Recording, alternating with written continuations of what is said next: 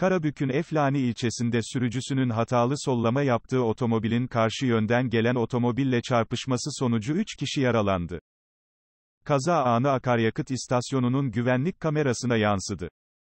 Kaza, Eflani, Pınarbaşı yolu Kayalar mevkiinde meydana geldi. Mustafa Turgut, idaresindeki 34J, P873 plakalı otomobil, hatalı sollama yapan Recep D, idaresindeki 34C, L, H, 396 plakalı otomobille çarpıştı. Çarpışmanın şiddetiyle 34C, L, H, 396 plakalı otomobil takla atarak yol kenarındaki tarlada ters durdu. Kazada Mustafa Turgut, Nail Genç ve Ali Kızılındullah, yaralandı.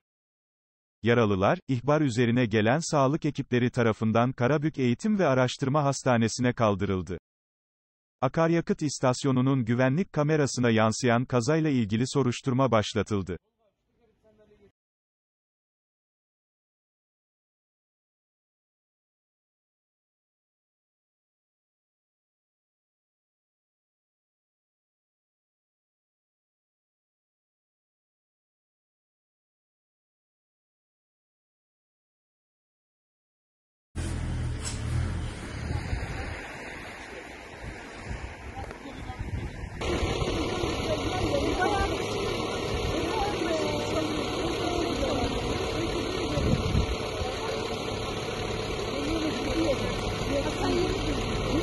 Emre, buba getir iki tane buba.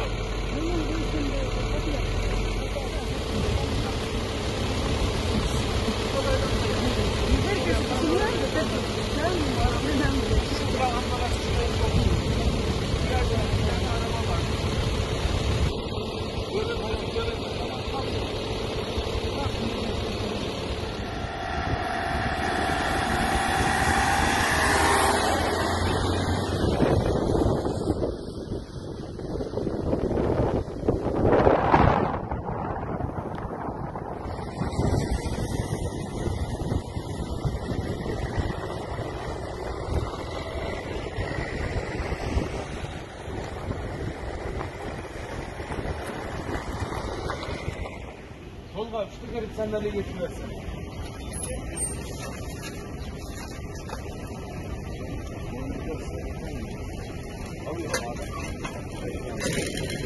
Yanıma.